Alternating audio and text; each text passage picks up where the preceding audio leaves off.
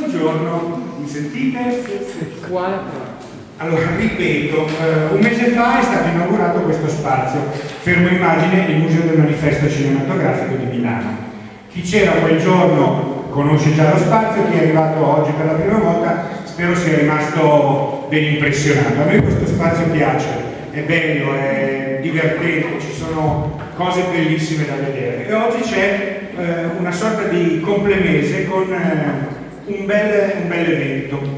Abbiamo qui con noi, passatevi il gioco delle parole, il gigante della pittura eh, dei, dei pittori di manifesti. Si chiama eh, Nano, in arte, il suo nome è Silvano Campeggi e eh, dal 1946 fino al 1970 ha illustrato eh, e ha disegnato, ha dipinto, lui è un pittore, eh, ha avuto dei grandi maestri che lo hanno portato alla pittura e poi si è dedicato a una cosa così di intrattenimento come il cinema.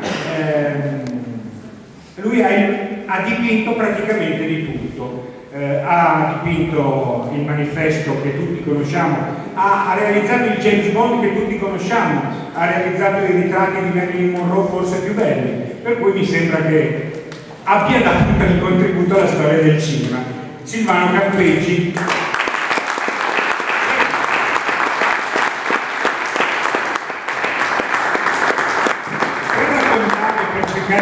Farvelo scoprire, eh, abbiamo due simpatici esperti, amici di Nano, eh, grandi esperti di cinema, tanti sanguinetti che realizzano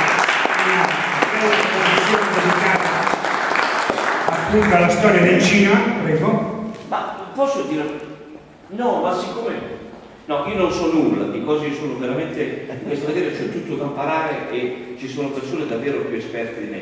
Naturalmente, per il vampirismo della cosa televisione non ci vogliamo perdere l'occasione di avere, di avere questa occasione unica, felicissima, sarete felicissimi alla fine di queste cose, di vedere queste bellezze, di sentire questi racconti. Nano è anche il pittore Campeggi, anche uno stonaro, noi possiamo fargli domande di tutti i tipi, sono emozionato e non mi succede facilmente perché facendo la televisione sapete che si, ha, si impara ad avere una faccia di bronzo, ma lui è un'occasione per cui ha incontrato tutti, ha conosciuto tutto, può parlarmi di Ava Gardner, di Vincente Minnelli, della Metro Goldwyn Mayer, di Cinecittà, insomma è un, una testimonianza unica, imperdibile, favolosa. Io preferirei invece registrare questa cosa secondo i criteri della televisione pulita, come detto, tenendo stretto il, questo narratore, l'editore eccezionale, e poi dopo invece gli facciamo, se serve poi fare una chiacchiera, se avete piacere, do una mano, contribuisco eh, con la mia eh, spregiudicatezza e, e, faccia tosta a dare una mano a capire delle cose perché è una di quelle occasioni in cui bisogna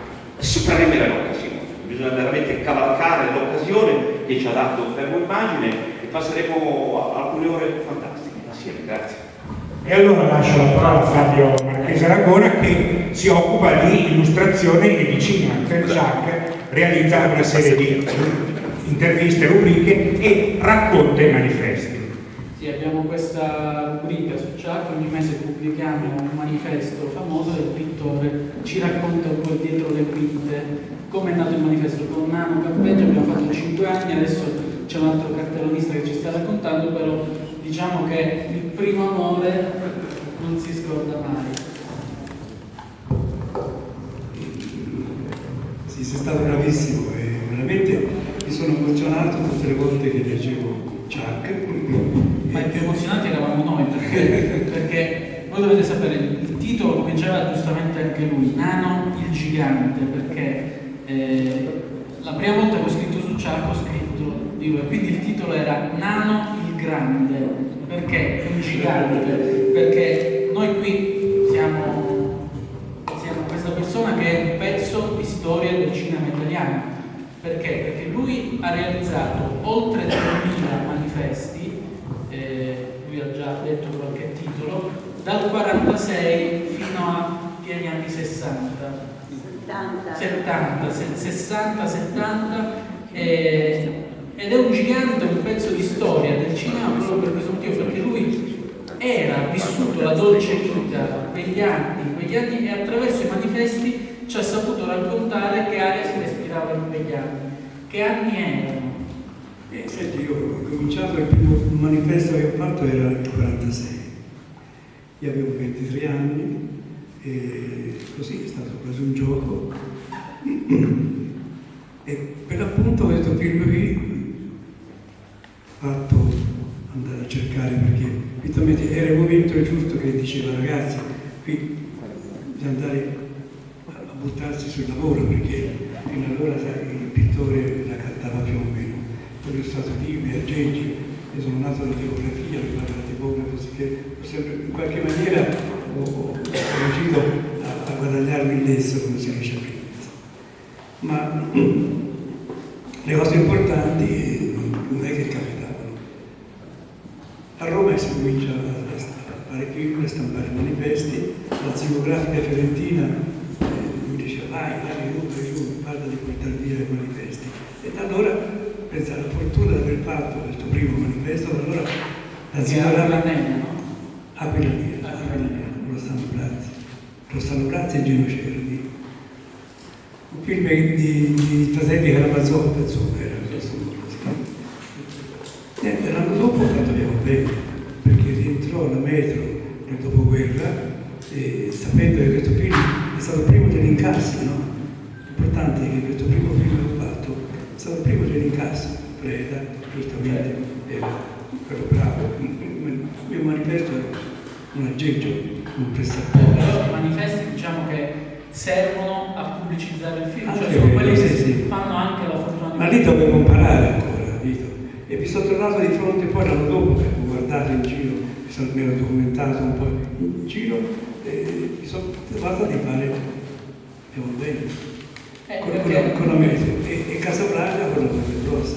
c'è da dire che lui può raccontarci, abbiamo la fortuna di averlo qui perché può raccontarci dietro le quinte, cioè noi vediamo ad esempio eh, i manifesti di, di Stello, questa donna, questa donna in La gatta sul tetto che scotta, e lui era lì, cioè noi abbiamo un'immagine di questo manifesto e sappiamo che dall'altro lato magari c'era lui che con il suo pennello era lì a dipingere. Allora, visto che si celebra anche una mostra qui su Mistello, eh, proprio su questo personaggio, cioè sappiamo che tu hai fatto tanti manifesti con il pelo, eh, i suoi occhi con questi riflessi particolari. Eh, intanto che personaggio era Mistello? Cioè, qual era il dettaglio che andavi a cogliere nei manifesti? Allora, io l'ho conosciuta già quando torna a casa Dessi, quando era ragazzina, piccole donne. Lei ha avuto la fortuna di nascere nel mondo del cinema, è stata a Berlina, ma molte ragazze lì hanno fatto il film da, da, da ragazzine, però non ce l'hanno fatta a diventare attrici. Lei invece ha avuto questa grossa soddisfazione, essere brava, bravina, bellina, e poi diventata una bella donna, donna eh, tutto tondo, piena di qualità, patogeni. Ecco, lei pensa un po', una cosa detta dai personaggi di servizio, e lei non imponeva eh, la luce, non imponeva la ripresa, il lato, lei lasciava liberi perché veniva bene da tutte le parti. Era così davvero. E noi si è conosciuta già che non è, io no, non l'ho conosciuta quando ho fatto quando era ragazzina, perché arrivavano film dall'America, ancora lei non era venuta in Italia, invece dopo frequentava Roma spesso e pensa che Portato gli abiti di, che lei ha usato quando aspettava il suo figlio Michael, conobbe Elena che aspettava il mio figlio Giovanni Battista e disse ti farò un regalo, ti mando i miei abiti che ora ho già messo di usare, appena nasce il bambino intanto te li sentisco. E lei ha portato questi abiti con questi colori un po' diversi da quelli che abitavano noi, con le sottanine mi sembra, non so come senza pancia, no? Sì, sì, sì, sono Sì, sì, sì, che ancora non erano state inventate in Italia, dei camiciulli, così spimpante, proprio di carattere, buffa, eh, non era la patalona eh, Che della diva. vedevamo, che vedevamo nei, nei film. Eh, ecco, è stata l'intenzione di, di- che poi, eh, non so chi è stato, mi sembra che il film l'abbia fatto la Warner Bros. Ecco, fare questa, questa cosa. Andasse negli Stati Uniti. Mandarlo in possetto negli Stati Uniti, perché doveva correggerlo, aggiungere, diceva loro, un fascino. Un po' di fascino, e quindi ti mandarono proprio da lei. E, quando, e, e allora c'era tutti in una sala, in uno studio grande, buio, perché da una parte abbiamo fatto un angolo illuminato, c'era un cavalletto, c'era il cavallo già piazzato lì, aspettava che arrivasse per lì. E non veniva. Perché era emozionata perché un pittore fiorentino non veniva. Poi venne la segretaria e mi vide, io avevo 23 anni, no, avevo, alla rovescia, ho 32 E qua il ragazzo, dal buio laggiù si vede questa figura bianca scodinzolante che è rimasta sotto di noi e mi disse me, maestro mi devo spogliare, sono venuto a posto, se si desse serio. Insomma, faceva fece un po' finta, insomma, che è stato, è stato molto carina. E da allora lei, niente, io le ritoccavo questo volto di lei, facevo pezzi, buffa, simpatica. Poi lei l'ha ritardato tanto e allora quando siamo vicino ci portano il cestino, che ci si vede senza lo scalino, mi raccontava che non aveva visto mai Firenze, dicono Firenze è una città meravigliosa, e tutto. Io quando viene a Firenze l'accompagno io, È mai venuta? Non è mai venuta.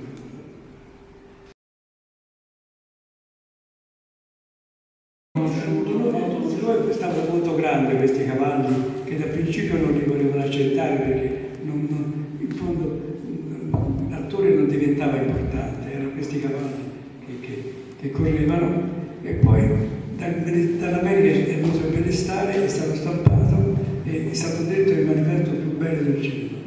Quello di Benur che peraltro è conosciutissimo perché sono quei due blocchi in pietra sì, con sì. la scritta Benur e sotto questa figa con i cavalli. È stato, è stata una soddisfazione, sì, eh, dicevamo com'è nato questo bacio di Via Convento, perché tutti conoscono quell'immagine lì, questo bacio famosissimo. Perché bacio dietro, dietro al bacio c'era Atlanta che bruciava. E allora questo, questo fuoco, questo bacio di questa guerra dove succedevano questi accenti terribili, eh, è piaciuto per te. Diciamo che dentro i due manifesti però c'è sempre ispirazione, cioè prendi sempre ispirazione da fatti spesso di vita quotidiana anche. Devo dire, allora,